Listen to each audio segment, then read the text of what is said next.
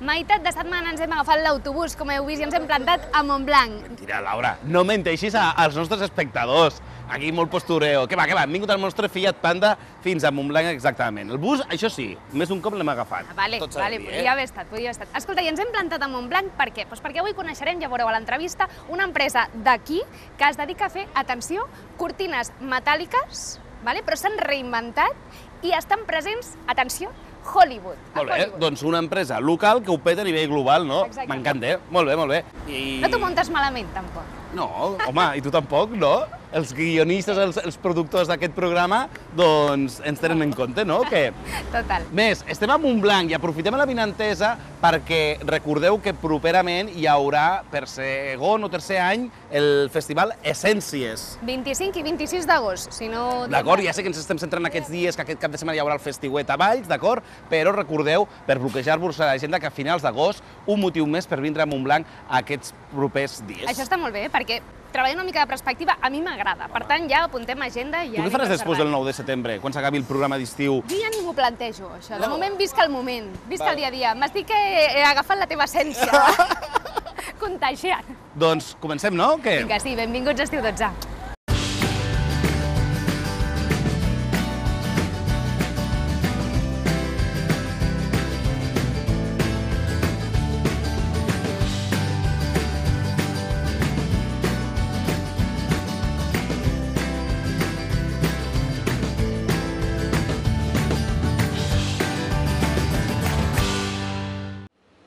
Més de 90 anys d'experiència acumula l'empresa de la que avui us volem parlar, Sans Amill, o també eh, coneguda la marca que tenen, que és Crisca Decor. Es tracta d'una empresa familiar que es dedica a la fabricació de cortines metàl·liques i que ha aconseguit arribar des d'aquí, des de Montblanc, fins a, atenció, a les Amèriques, a Hollywood. Google, la cerimònia dels Oscars, hotels de Nova York i fins i tot alguna pel·lícula de Hollywood són els seus clients. Avui aquí parlarem de la seva història i d'aquests projectes que ja veureu que són molt espectaculars. I per fer-ho, doncs, avui ens acompanya la tercera generació, el Josep Maria Sans. Josep Maria, benvingut. Hola, moltes gràcies. I gràcies per acollir-nos a casa vostra. Enca encantat, un plaer.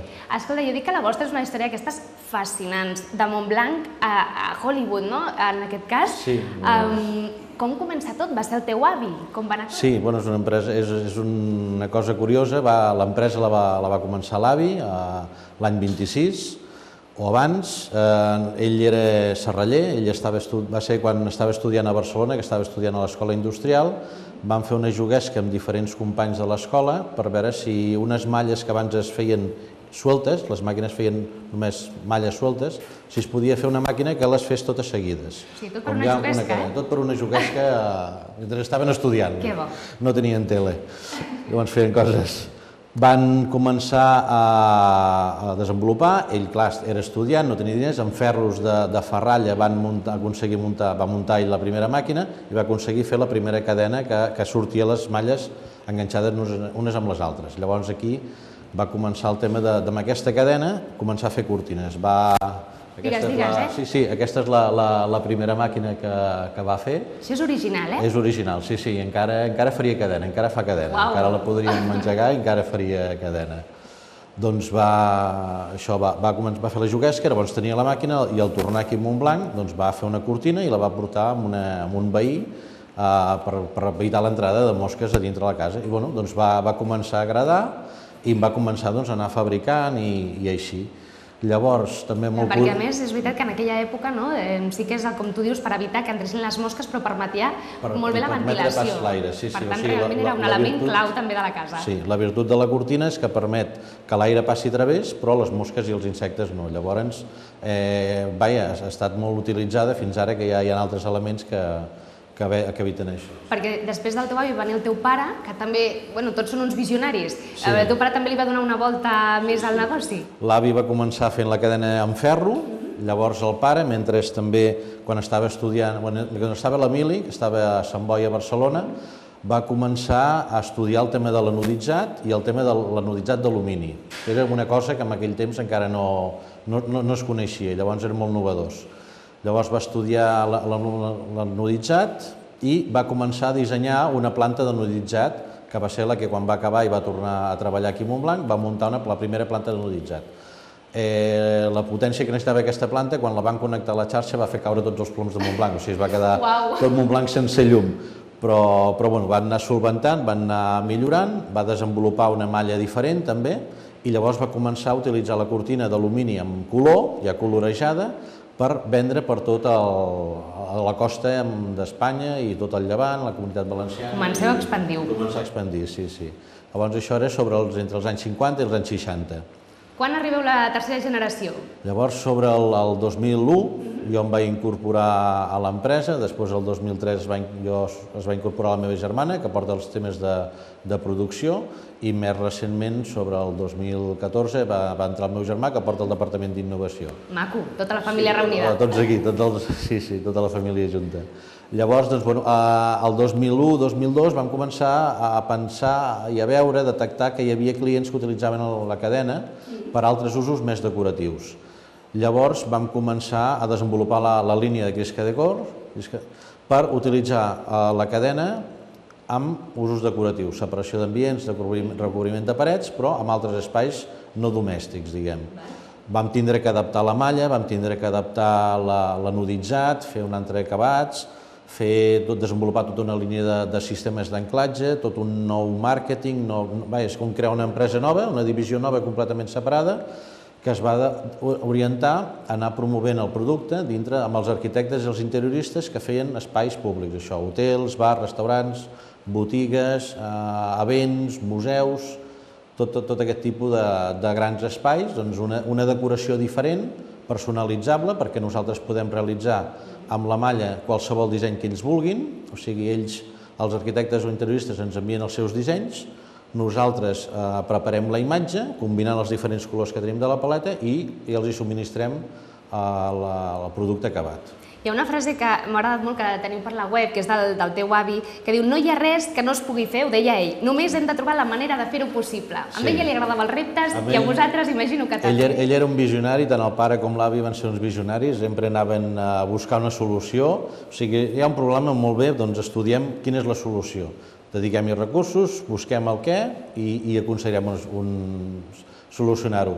És una mica també la, la filosofia que encara tenim, dius, bueno, no, qualsevol repte que ens arriba a part del, de projectes o així, sempre, no diem mai que no, sempre els estudiem i intentem trobar una, una solució i això ens ajuda a anar, a anar creixent, a anar avançant i anar aprenent cada Bé, vegada. perquè ara ens explicaves el funcionament, no? que algun cop doncs, us venen els clients ja amb una idea molt clara, amb un disseny molt clar i vosaltres l'executeu, i en altres vegades que suposo que també us diuen, bueno, tenim una idea però volem... Sí, vosaltres molt... també podeu donar un cop de mà en aquest Nosaltres donem un cop de mà. Llavors tenim el nostre departament d'innovació, que, que col·labora amb els arquitectes per dir, jo què sé, tinc una idea, vull fer uh, un ús diferent, vull fer un sostre, vull fer una cosa, però tinc aquests reptes, no sé com solucionar-ho i tal. Llavors nosaltres ho estudiem amb ells, els hi proposem solucions, uh, a veure què tal, sempre hi ha un, un, un, un, un diàleg, no? Dius, jo necessito això, nosaltres te podem oferir això, busquem a veure com ho podem fer per aconseguir uh, l'objectiu que ells busquen el més aviat possible. Heu treballat amb dissenyadors sí. dels més importants a Europa. Sí, sí.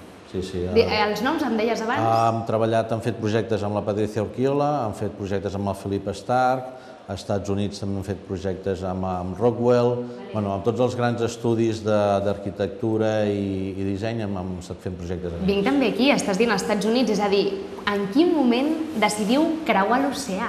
Bueno, ja, ja a partir del 2001-2002 ja havíem fet alguna, alguna prova, Llavors, el 2003 vam trobar una, una persona que, va, que li va interessar el producte i, i va deixar el que ell estava fent per distribuir el nostre producte a tot els Estats Units. Això és que hi creia. Ell hi creia, sí, sí, hi creia molt. Eh, també ens va, ens va esperonar a nosaltres, això que diem no, el, el no dir no, ens va esperonar a dir, va, eh, aquest hi aposta, nosaltres també apostem. Doncs vam, posem tota la, la carn a la graella, vinga, tirem per endavant, vam començar a desenvolupar coses, donant-li suport, Eh, clar, estem creant webs, creant tots els màrquetings nous. I, clar, i arriben doncs, clients doncs, importants, com abans dèiem, no? Sí, sí, cerimònia Oscars, dels Oscars. Un dels primers projectes als Estats Units va ser a la cerimònia dels Oscars, a l'escenari hi havia un cilindre de 10 metres d'altura, fet amb cadena, que anava pujant i baixant, i llavors i, i és bonic perquè bueno, tenim les fotos i això la, la Beyoncé cantant al costat de les cadenes, bueno, és curiós. És curiós, i una cosa molt curiosa és que el que a nosaltres ens fa molta gràcia, dius, hosti, Estats Units, Hawaii, el Hollywood, tal, eh, el, quan ets allí, Dius, no, no, és que aquest producte està fet a Catalunya, aquest producte està fet a Barcelona, perquè ells ho està fet a Barcelona. Oh, disseny de Barcelona i disseny europeu, que guai, que xulo, o sigui, és el mateix sentiment, però al revés. Nosaltres trobem molt atractiu allà i es troba molt atractiu que això estigui fet aquí a casa nostra.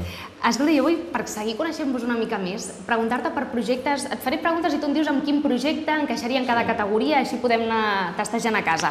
Si jo et preguntés quin, quin és el primer gran repte amb el que us trobeu d'aquesta divisió, com dèieu, no? de, de més de decoració, com a més com a element decoratiu, artístic?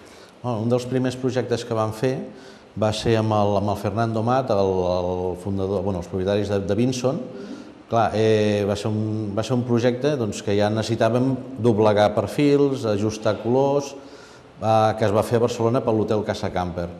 Eh, clar, el primer projecte que ja sigui un, un referent del disseny català, com és Fernando Mat, que coneixia tot el sector, i ja vegi que aquest producte té, té potencial, hosti, això ens va, bon ens va animar no? molt. Sí, sí, sí. I en aquest cas és món de la restauració, que és un dels sí. que suposo principals clients sí, sí. també venen per aquí, no? Sí, sí, és restauració, doncs a Barcelona doncs, hem fet a l'Hotel Camper, al Dos Palillos, que és un restaurant d'una estrella Michelin, al, bueno, diferents, a l'Hotel Mandarín, que és a Passeig de Gràcia, que el van fer amb la Patricia Orquiola, bueno, molts, molts referents. Eh? Això com si esteu a tot arreu, eh? em sembla, al final. Bueno, exportem amb més del 70% del que fabriquem i llavors bueno, tenim distribuïdors des de Nova Zelanda, a Japó, a Estats Units, a Rússia, a Sud-àfrica... Bueno, és, és un producte que és molt, molt particular perquè és molt nicho, no encaixa tots els projectes, amb el qual tenim molt que fer molt esforç d'anar a donar-lo a conèixer, però ens permet poder treballar a tot el món. Hem fet projectes a Kazakhstan, a Armènia,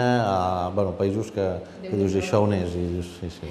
Del que us sentiu més orgullosos? Potser per l'envergadura, per, per la complexitat? Bueno, el, el, és un orgull haver, haver, com a tercera generació, haver pogut continuar la feina que havien fet l'avi i, el, i el pare, i haver-li donat un nou enfoc i la feina que ells han fet, nosaltres dius, bueno, ells van posar els primers escalons, nosaltres ja ens hem trobat, hem continuat a partir de, de l'escola. Poder l'orgull més com a família o com a, com a empreses és poder haver conservat aquesta història i, vaja, i continuar treballant i intentar mantenir el, el repte. Que per cert, abans et preguntava què tal el treball en família, que no sé si sempre... Bé, bueno, és, és, tan cordial. És, és, eh, té coses bones, coses dolentes, perquè dius, bueno, el compromís hi és, però abans també la, la relació que tens de personal doncs, també és diferent amb una persona que és més professional, que aquí es barregen més coses i a vegades és bo i a vegades doncs, és més complicat de, de gestionar, però bé, ben important.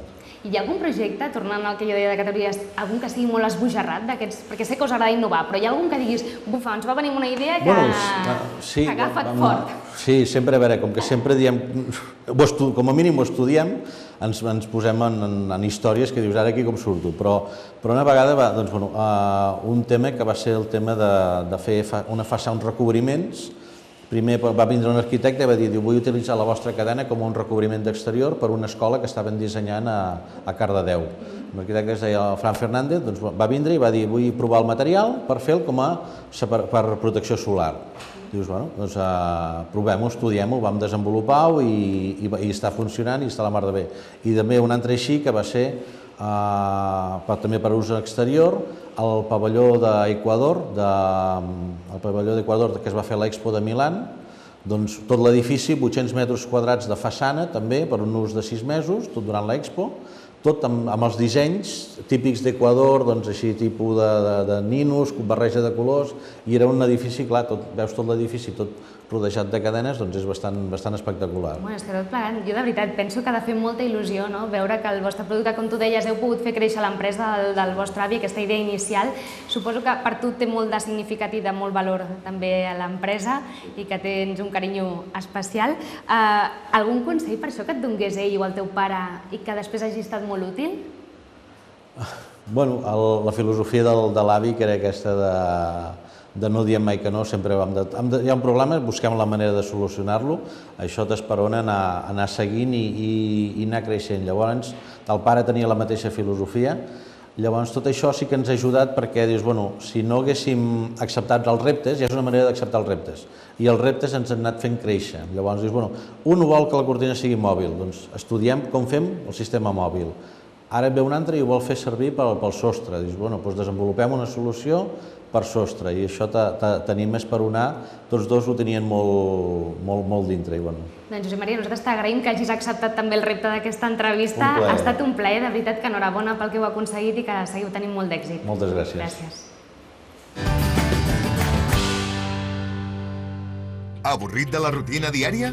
Vols alliberar l'aventurer que portes dins?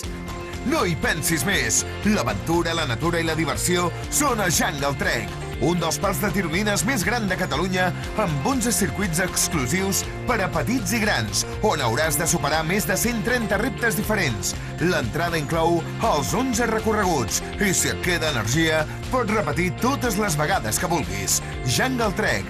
Més informació a jungle-trek.com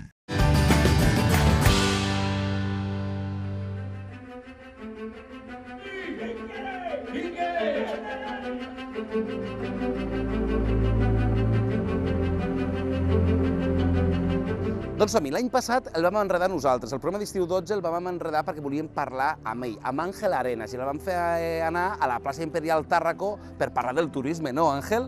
Exactamente, que es lo que nos gusta. I l'Àngel, ara aquest any, com que també és una mica liante com servidor, ha dit Jordi, apropa't a l'amfiteatre perquè tenim un pepinaco, un gran espectacle de gran format i toca explicar-lo que la gent, sobretot de casa, dimensioni el que han organitzat aquest any. Es el proyecto de la ciudad. Tampoco queremos inventarnos nada nuevo. Estamos hablando de que Tarragona tiene que ser la ciudad que mejor explica la historia y entonces seguimos con el mismo relato. Sí es cierto que cambiamos el formato. Hay un formato absolutamente establecido ya y estable y asentado que es el formato de Tarraco Viva, que después de 20 ediciones funciona perfectamente y tiene que tener continuidad y tiene que tener más apoyo y tenemos que seguir apoyándolo.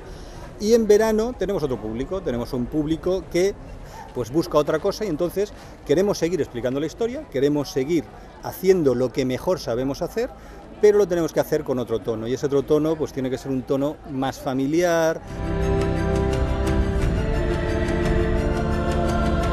Bueno, un espectáculo que ¿cuánto dura? Unos 40 minutos. Estamos hablando de un espectáculo de 40 minutos porque tiene que ser un, un tiempo prudencial para que los niños lo aguanten bien y lo disfruten y para que todo el mundo, pues bueno, con- tenga sea un espectáculo algo más ligero para que todo el mundo pueda aguantarlo bien. A les 10 en punto, nosaltres estem ara a pocs minuts que comenci l'espectacle. Quanta gent hi ha al darrere d'aquest gran projecte, d'aquest gran format? Que alrededor de 100 personas han participado en el proyecto, eh, casi 50 están en el, en el anfiteatro, en la arena, trabajando y, y haciendo la, la actuación y el trabajo técnico, etcétera. Es decir, estamos hablando de un formato que, que ha sido complejo para nosotros de, de trabajar por la Pantalla- complejidad que tiene. Pantalla LEDs espectacular, de les més grans que hem vist a Tarragona recentment. Veiem que també hi ha eh, projectors de, amb gran capacitat de lúmens perquè utilitzeu el tema mapping, no? Correcto. Videoprojeccions. Más- Sí, eh, utilizamos la arena como pantalla y utilizamos una combinación de la pantalla de LED con la pantalla de, de arena, con el proyector en la arena.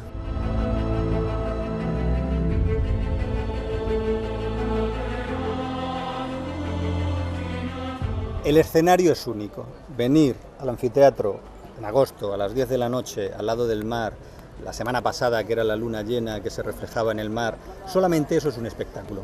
Ver el espectáculo de disfrutar de un anfiteatro como el que tiene Tarragona al lado del mar ya es un espectáculo. Si además intentamos hacer algo adicional como es este gran formato que hemos intentado crear, bueno, habrá quien le guste más, habrá quien le guste menos, pero el anfiteatro le va a gustar a todos. O sea, desde luego la visita al anfiteatro es obligada. Enhorabona, perquè ja saps que a mi m'encanta i la gent també de casa ens encanten els, els grans espectacles de gran format i que Tarragona tingui aquest espectacle en un espai de més de 2.000 anys, no té... Es único. Hay que aprovecharlo porque es único. Correcto. Realmente, como es único, queríamos hacerlo también nosotros único. Ja tocava. Bueno, Gràcies, espero que salga Àngel. bien. Fins ara. Gracias a ti, Jordi.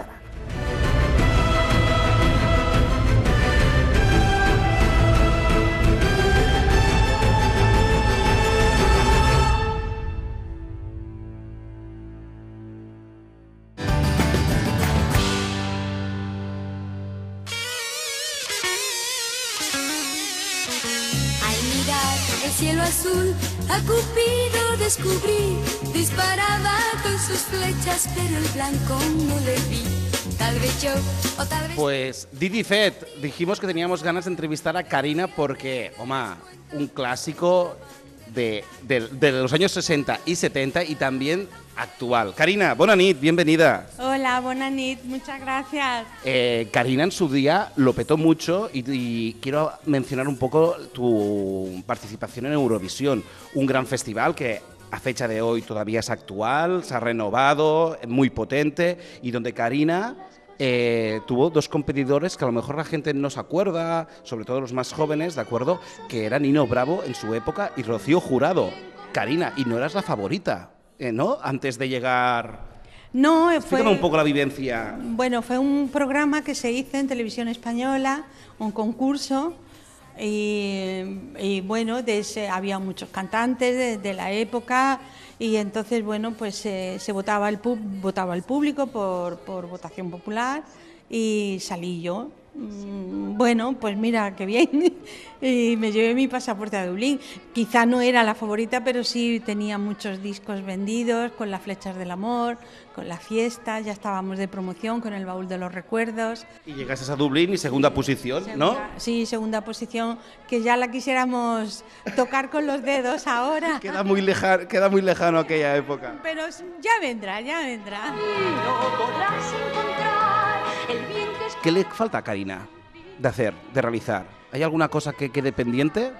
Hombre, siempre quedan muchas cosas pendientes en la vida de las personas, por supuesto. A nivel, a nivel profesional, yo creo que ha sido la ilusión de mi vida es hacer una comedia musical. Pero bueno, he hecho cine musical y bueno, y de hecho salir al escenario y cantar mis canciones es una pequeña obra musical. Mm, Pero bueno, me falta esa obra musical con guion. Para mí, sí, también para Muchísimas gracias y esperamos que este musical, este Fem que pase pendiente, se haga realidad. Karina. te pueda llamar y decirte, Jordi, se ha hecho realidad. Bueno, si lo veo, si lo veo, si lo veo, nos vemos, a- nos vamos a Madrid, a Jaén, o donde lo- al estreno. Falta, o como si es en Nueva York, ima- imagínate, donde, donde sea y me lo ofrezcan, allí que voy a hacer mi musical. ¡Cha, cha! Perfectísimo, Karina. Venga, muchas gracias. A ti. Un placer.